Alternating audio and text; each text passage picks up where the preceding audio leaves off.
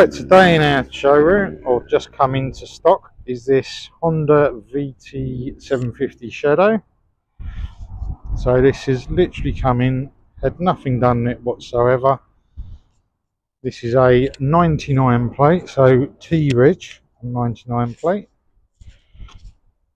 So starting off at the front, clear screen, few marks in it, Obviously, it will be dirty as it's had nothing done on it. Chrome is okay. A little bit of cleaning. We won't know the full extent until it's properly cleaned. Indicators are okay.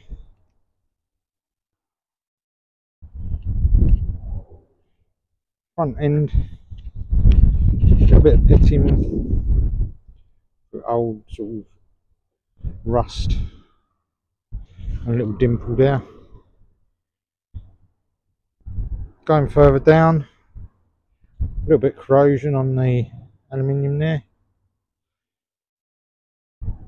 Front tire is really good. Mudguard is good. It has got a few marks in it but hopefully some of them will come out. Wheel is good got a bit of corrosion on that but overall very good condition. Coming around the side frame is seems nice condition. The exhaust has a little bit of deterioration on it but nothing major. Exhaust is the silencer has got a few marks in it. Overall it's uh, good for the age. Panel here is good. Got the soft panniers on the side there which are good. Rear shock seems good as well. Rear wheel. Does need a bit of clean up but I think that will come up okay. All around the rear there good paintwork in the purple and black. Has got the rear rack on it as well. This side all good. A little bit of damage on there. Underneath seems good.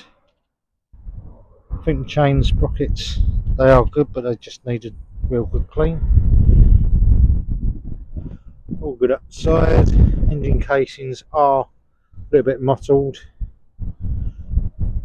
by the aluminium. Other than that they're good. Paintwork on the top of this tank is really nice. Has got the very slightest little blemish dent on the side here. I will try and pick it out just where my finger is just see that change there. All the bars are good. And got seats really good condition. And the backrest as well. So if you'd like to come and view this bike we're at Ryder Motorcycles in Castle Road in Sittingbourne open from 9am to 5pm Tuesday to Saturday. If you can't get down at all please don't hesitate. Give us a call and we will answer any questions about the bike. Alright thanks ever so much